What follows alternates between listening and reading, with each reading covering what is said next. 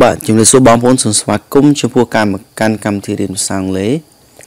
ហើយថ្ងៃនេះយើងសិក្សាទៅលើការបកប្រែ translating english ការបកប្រែភាសាអង់គ្លេសហើយមេរៀនយើងថ្ងៃនេះគឺយើងសិក្សាទៅលើចំណីអាហារ Our lesson today we talk about eating for energy the food pyramid គឺយើងសិក្សាទៅលើ eating for energy មានន័យថា eating for energy គឺមានន័យថាការហូបសម្រាប់ធម្មពលអញ្ចឹងពាក្យ energy គឺមានន័យថាធម្មពល គេសំដៅលើអាហារធម្មពលដែលផ្ដល់នូវធម្មពលហើយពាក្យ the food pyramid គឺគេសំដៅលើអឺទម្រង់អាហារដែលយើងត្រូវហូបតាមរូបរាងដូចជាពីរ៉ាមីត Look at the picture ឥឡូវបងប្អូនកន្លែងមើលរូបភាពនេះ អញ្ចឹងគឺយើងឃើញមានអាហារនេះគឺលក្ខណៈដូចជាពីរ៉ាមីតអញ្ចឹងអញ្ចឹងអាផ្នែកខាងលើបងអស់គឺបងប្អូនត្រូវញ៉ាំតិចអាបន្ទាប់មកគឺបងប្អូនត្រូវញ៉ាំឲ្យបានច្រើនឡើងច្រើនឡើងណានេះគឺជាទម្រង់អញ្ចឹង the top of the pyramid you have to eat less and the bottom of the pyramid you have to eat more អញ្ចឹងកន្លែងដែលខាងលើប្រអស់នៃពីរ៉ាមីតកពុលខាងលើហ្នឹងគឺបងប្អូនត្រូវតែហូបតិច ហូបច្រើនអត់បានទេហ្នឹងគឺគេឲ្យយើងហូបតាមហ្នឹងណាចំណីអាហារអស់ហ្នឹងហើយបន្ទាប់មកគឺបងប្អូនត្រូវញ៉ាំច្រើនឡើងច្រើនឡើងហើយ the bottom of the pyramid you have to ញ៉ាំ you have to eat more eat អញ្ចឹងយើងត្រូវតែញ៉ាំឲ្យបានច្រើនណាអូខេឥឡូវអត្ថបទដំបូងនេះគឺគេនិយាយថា uh, many professional sports team have uh, recently added a new member to organization a new uh, a nutritionist a nutritionist that because athletes have becomes aware that food affects performance you don't have to be an athlete to notice this effect អញ្ចឹងអត្ថបទរបស់យើងគេអឺគេនិយាយថា many professional sport teams មានន័យថាក្រុមកីឡាបាល់ទាត់អាជីពជាច្រើនអញ្ចឹងពាក្យថា professional មានន័យថាអាជីព many professional sport teams មានន័យថាក្រុមបាល់ទាត់អាជីពជាច្រើនអឺបានបន្ថែមសមាជិកថ្មីអឺទៅកាន់ក្រុមរបស់ពួកគេ នៅពេលថ្មីថ្មីនេះ គឺអ្នកជំនាញខាងចំណីអាហារអឺ នោះពីព្រោះតែអឺអត្តពលិកមានន័យថាអ្នកលេងកីឡាហ្នឹងអឺបានដឹងថាអាហារវាមានអតិពលទៅលើការលេងរបស់ពួកគេអឺអ្នកមិនចាំបាច់ធ្វើជាអត្តពលិកទេ ដើម្បីកត់សម្គាល់ទៅលើការមានអតិពលនេះចាឥឡូវយើងប្រែពាក្យនីមួយៗឬក៏ប្រែជា express ជា clear សិនដើម្បីឲ្យយើងយល់ហើយនឹងស្គាល់ថាតើពាក្យហ្នឹងគឺយើងប្រែថាម៉េចខ្លះទៅបានវាច្បាស់លាស់តោះឥឡូវពាក្យ many ហ្នឹងគឺប្រែថាច្រើន professional គឺមានន័យថាដែលជាអាជីពដែលជាអាជីពណាដែលមានទេពកោសលដែលមានជំនាញច្បាស់លាស់ហ្នឹងហៅ professional ហើយពាក្យ sport sport ហ្នឹងគឺកីឡា sport teams team គឺក្រុម អញ្ចឹងទាំងអស់ហ្នឹងបូកចូលគ្នាគឺវាអឺប្រែថាយើងប្រែពីធីមមកវិញណាប្រែពីធីមមកវិញមានន័យថាក្រុមកីឡាអាជីពជាច្រើនអូខេបងប្អូនដឹងទេអាក្រុមកីឡាអាជីពជាច្រើន many professional sport teams ព្រោះថាទាំងអស់ហ្នឹងវាគឺជា noun phrase ណាវាគឺជា noun phrase វាគឺជា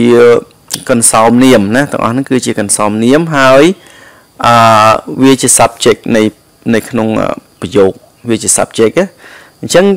បើសិនជាវាជាកន្សោមនាមអញ្ចឹងគឺយើងប្រែពីនាមដែលនៅខាងមុខនេះមុនបន្ទាប់មកបានយើងប្រែ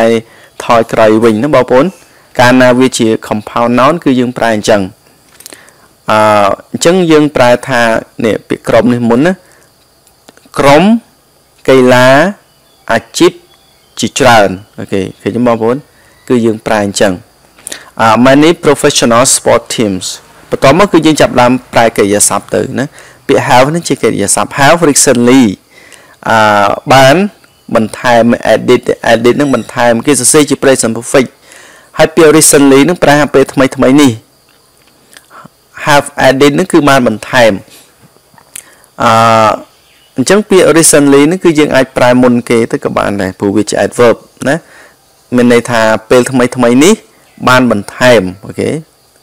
យើងបងប្អូនប្រើយ៉ាងម៉េចគឺឲ្យតែសមឲ្យតែស្ដាប់ទៅវាមានន័យដែលយើងចេះច្រើនទៅគឺក្នុងការបកប្រែគឺគេកាត់ន័យប្រែតែម្ដងណាប៉ុន្តែដោយសារយើងរៀនដំបូងគឺយើងត្រូវស្គាល់ពីអស់នឹងសិនมันអាចកាត់ន័យអញ្ចឹងបានទេអូខេពីព្រោះបើយើងកាត់ន័យប្រែគឺបងប្អូននៅតែអត់ចេះនេះអាពាក្យអស់ហ្នឹងមិនដឹងថាគេថាមិនចេះ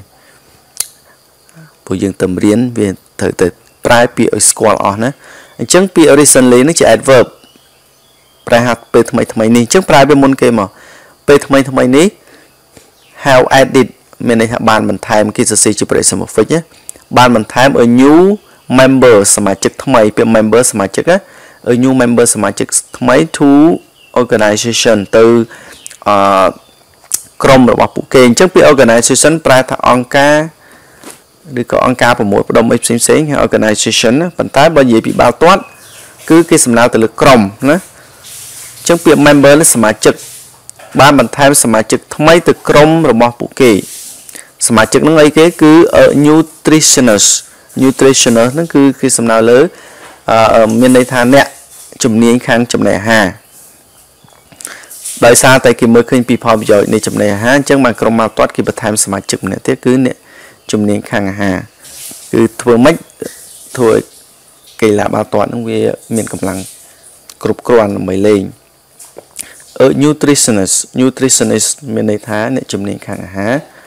that because athletes have become aware អឺនោះគឺពីព្រោះតែអត្តពលិកអត្តពលិកហ្នឹងគឺអ្នកលេងកីឡាហ្នឹងបានដឹងបានដឹងថាអាហារ មានអតិពលទៅលើការលេងរបស់ពួកគេអញ្ចឹងពាក្យថាអអញ្ចឹងពាក្យថា because because នឹងប្រែថាពីព្រោះ that because នោះគឺពីព្រោះតែ athletes athlete នឹងគឺអ្នកលេងនឹងអតពលិកនឹង have become aware that បានដឹងថា food ចំណីអាហារ effects effect នឹងប្រែថាមានអតិពលលើឬក៏ វាជាអតិពលលើ performance performance នឹងគឺការសម្ដែងបើនិយាយពីកីឡាវិញគឺការលេងតែម្ដងណា performance ការលេងអញ្ចឹងអឺនោះគឺពីព្រោះតែអ្នកលេងកីឡាហ្នឹងគឺបានបានដឹង become aware have become aware ហ្នឹងប្រែថាបានដឹងណាបានដឹងពី aware aware ហ្នឹងដឹងហើយ become aware ហើយបានដឹង that បានដឹងថា food affects ចំណីអាហារជាឥទ្ធិពល performance ទៅលើការសម្ដែង you don't have to be an athlete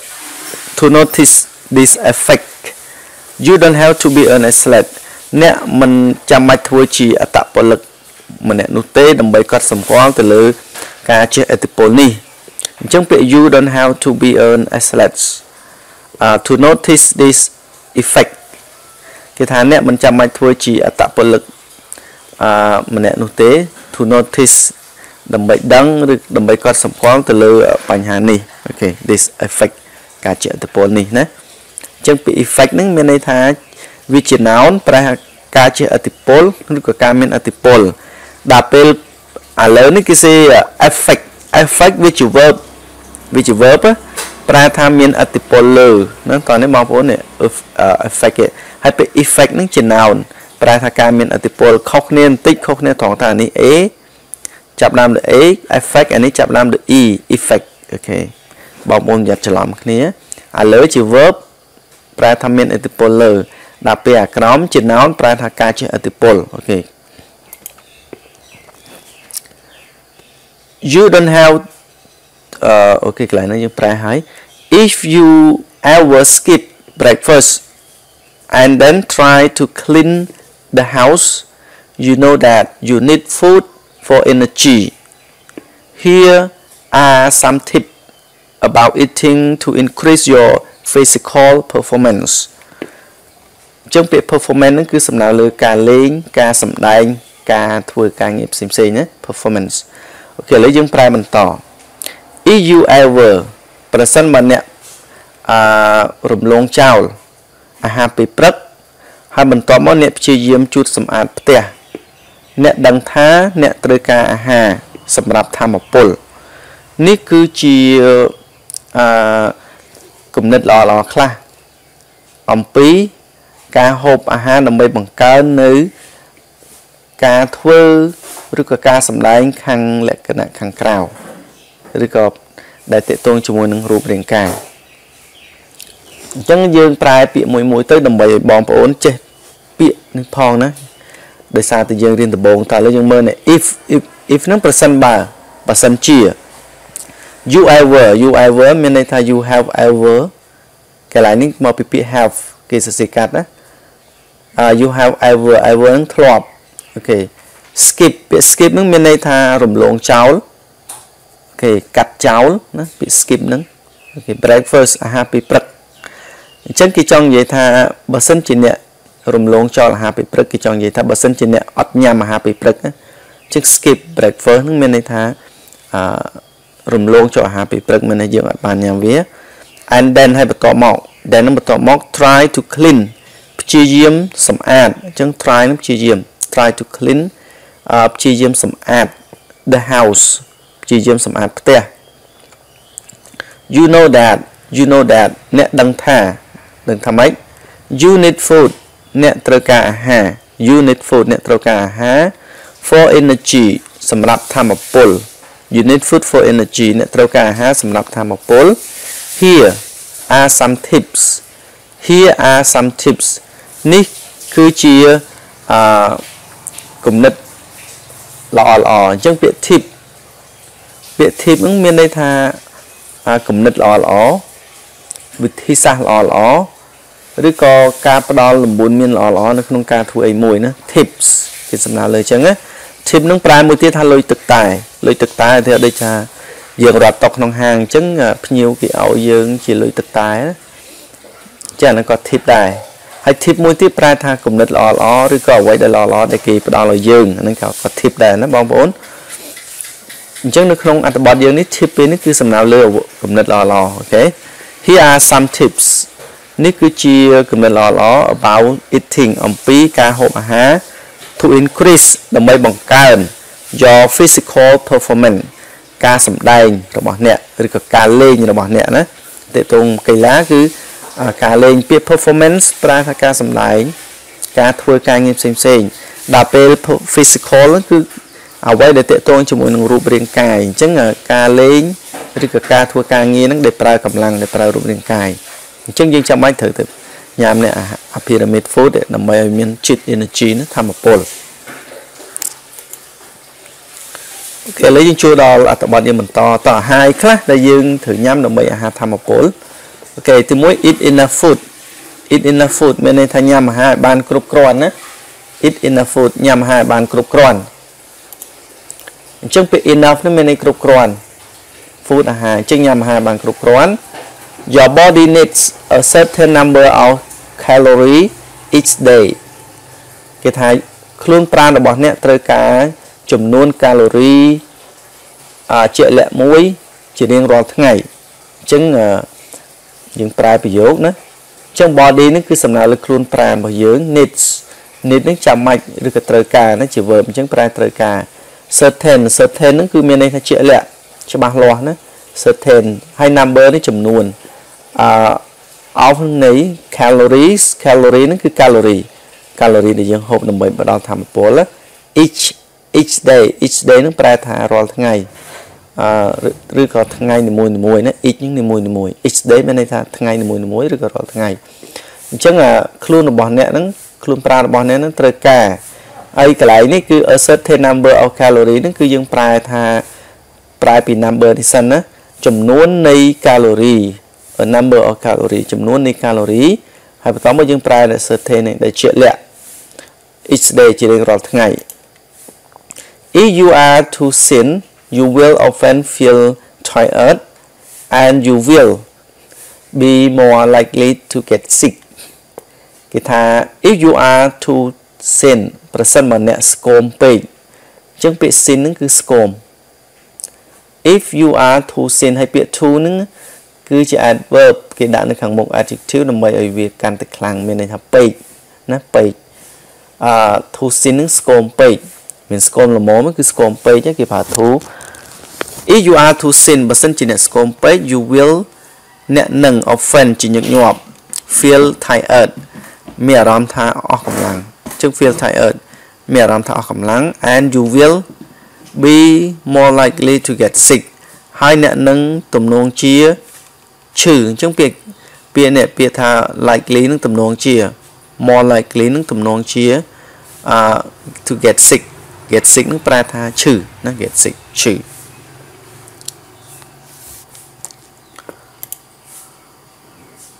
អូខេឥឡូវចំណុចបន្ទាប់ទៀត the next point read the label on food products read the labels on food product អាន ផ្លាកសញ្ញាដែលដាក់នៅលើផលិតផលអាហារហ្នឹងណាអញ្ចឹងពាក្យ read ហ្នឹងគឺអានហើយពាក្យ labels label ហ្នឹងគឺសំដៅលើផ្លាកសញ្ញាដែលគេបិទភ្ជាប់ជាមួយនឹងអាហារដែលយើងញ៉ាំហ្នឹង on the food labels ដែលដាក់នៅលើផលិតផលអាហារហ្នឹងណាពាក្យ on the food products ពាក្យ product ហ្នឹងមានន័យថាផលិតផល food product ផលិតផលអាហារណាដូចជាអាហារផ្សេងផ្សេងអាហារកំប៉ុងផ្សេងផ្សេងហ្នឹងអញ្ចឹងគេឲ្យយើងអាន label ឲ្យបាន ច្បាស់លាស់ដើម្បីញ៉ាំទៅវាត្រូវណា This information will tell you how nutritious the food are This information ព័ត៌មាននេះព័ត៌មាននេះគឺចង់និយាយព័ត៌មានដែលគេបិទនៅលើกระดาษ label ហ្នឹងกระดาษផ្លាកសញ្ញាហ្នឹង This information ព័ត៌មាននេះ will tell you នឹងប្រាប់អ្នក how nutritious អឺរបៀបដែល អាហារបម្រុង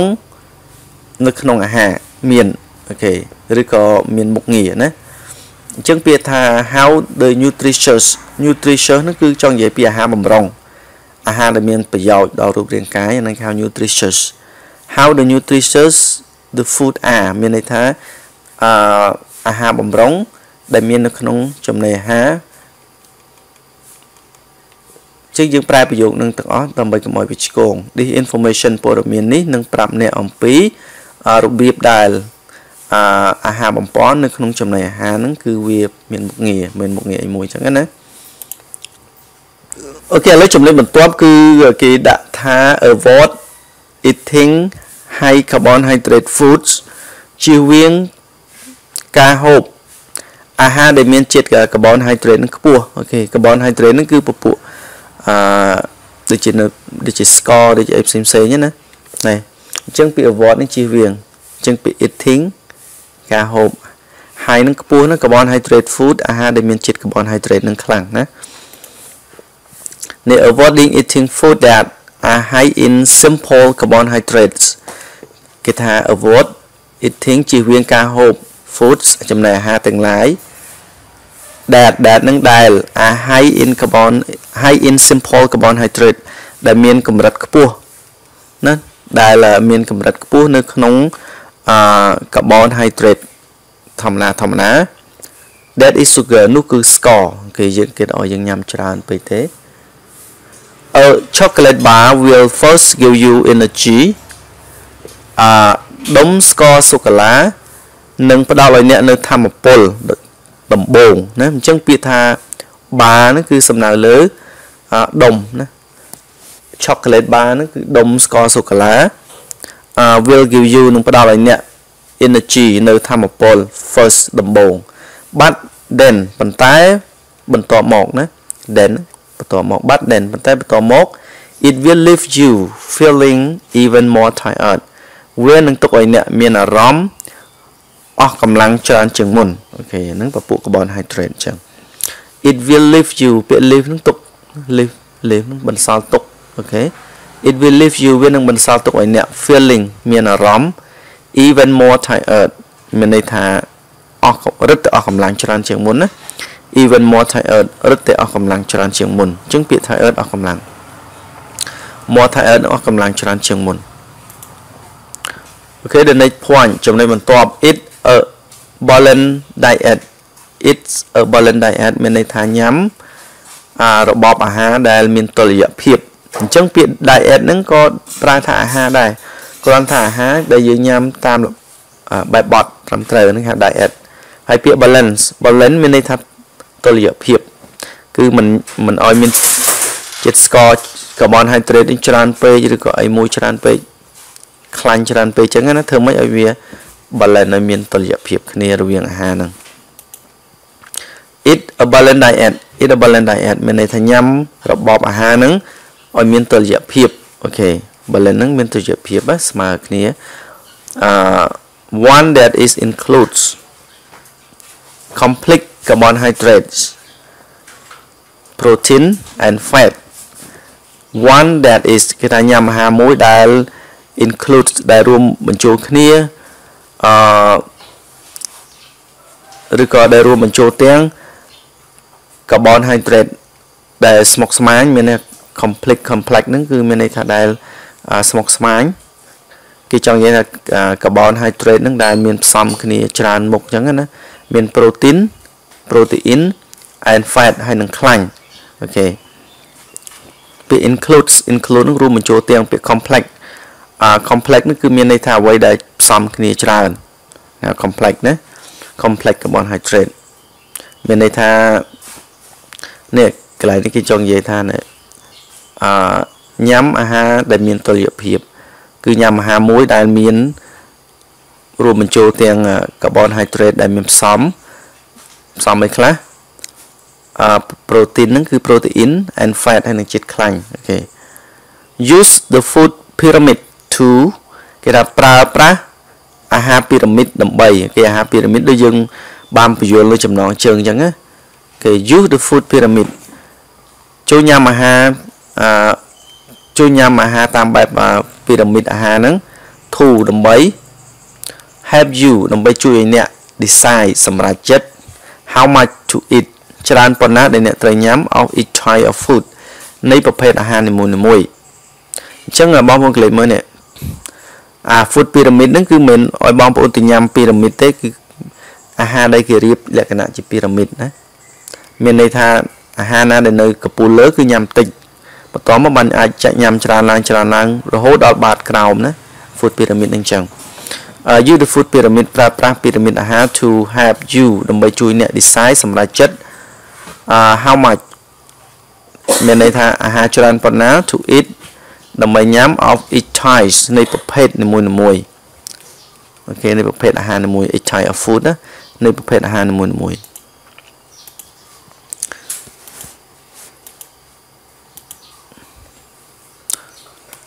អូខេឥឡូវយើងចំណេញបន្តទៀត complex carbohydrate provide the body with fuel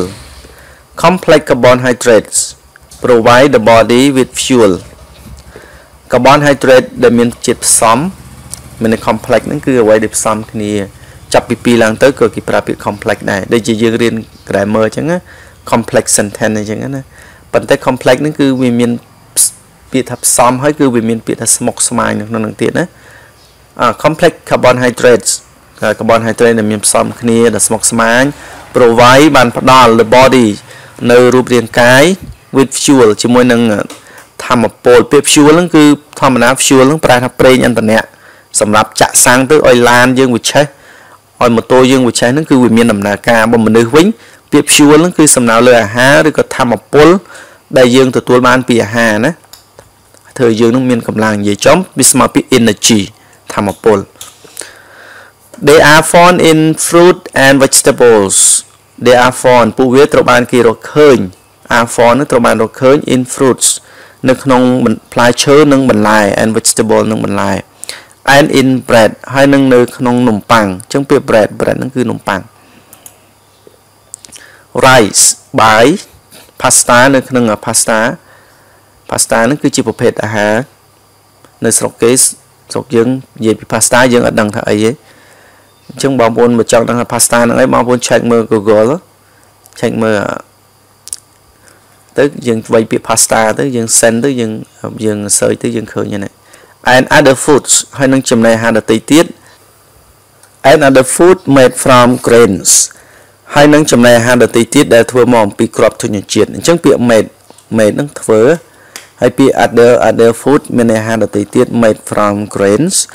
ដែលធ្វើមកអំពីគ្រាប់ធញ្ញជាតិមានន័យគ្រាប់ធញ្ញជាតិណា the body use protein to build muscle អាចំខ្លួនប្រាណយើងហ្នឹងគឺប្រើប្រាស់ ប្រូតេអ៊ីនដើម្បីបង្កើតនៅសាច់ដុំអូខេអញ្ចឹង the body មានន័យថាខ្លួនប្រាណខ្លួនប្រាណហ្នឹង the body ខ្លួនប្រាណ use protein ប្រើប្រាស់អាប្រូតេអ៊ីន to build muscle ដើម្បីបង្កើតនៅសាច់ដុំអញ្ចឹងពាក្យ muscle គឺមានន័យសាច់ដុំ to build muscle ដើម្បីបង្កើតនៅសាច់ដុំអញ្ចឹងពាក្យ build នឹងសាងសង់ឬក៏បង្កើត to build muscle ដើម្បីបង្កើតនៅសាច់ដុំ and it use fat to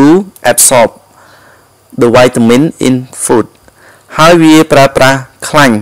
ដើម្បីស្រូបទាញនៅវីតាមីននៅក្នុងចំណីអាហារអូខេអញ្ចឹងបងប្អូនគេមើលពាក្យនេះ use use នឹងប្រើប្រាស់ណា it use វាប្រើប្រាស់ fat fat នឹងជាតិខ្លាញ់ to absorb absorb នឹងប្រែថាទាញយកស្រូបយក absorb the vitamin អឺស្រូបយកវីតាមីន in food នៅក្នុងចំណីអាហារអញ្ចឹងចង់និយាយថាអឺ វាមានសំមានប្រយោជន៍ទាំងអស់អញ្ចឹងប្រូតេអ៊ីនសាងសង់នៅសាច់ដុំ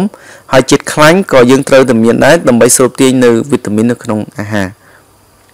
Protein and fat are found in foods like milk, cheese, meat, fish and eggs. អា protein គេថា protein ហើយនឹងខ្លាញ់ហ្នឹង protein and fat ហ្នឹង are found in ត្រូវបានគេរកឃើញនៅក្នុងក្នុងអីគេបងប្អូន food ចំណីអាហារ like ដូចជា ដូចជាអី meal ទឹកដោះគោ cheese meat meat ហ្នឹង cheese ហ្នឹងគឺយើងមិនបាច់ប្រើទេយើងប្រើ cheese ដដែលមកណា meat សាច់ fish ត្រី and eggs ហើយនឹងស៊ុតអូខេយើងគេឃើញនៅក្នុងហ្នឹងណា too much fat however can be harmful too much fat មានន័យថាជាតិខ្លាញ់ច្រើនពេក បើសិនជាយើងញ៉ាំជាតិខ្លាញ់ច្រើនពេក too much too much ហ្នឹងច្រើនពេក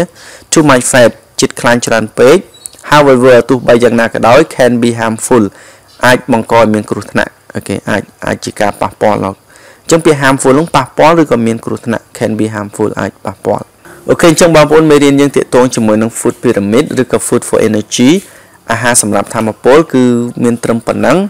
ហើយសង្ឃឹមថាបងប្អូនចេះពាក្យឬក៏ចេះប្រើប្រាស់ នៃការញ៉ាំតាម food pyramid ដែលយើងបានមើលក្នុងមេរៀនរបស់យើងហ្នឹងដើម្បីជាការផ្ដល់នូវធម៌ពលដល់រូបរាងកាយរបស់យើងអញ្ចឹងសូមបងប្អូនកុំភ្លេចចុច Subscribe និងចុចសញ្ញាកណ្ដឹងដើម្បីទទួលបានមេរៀនថ្មីៗល្អៗពីខ្ញុំ។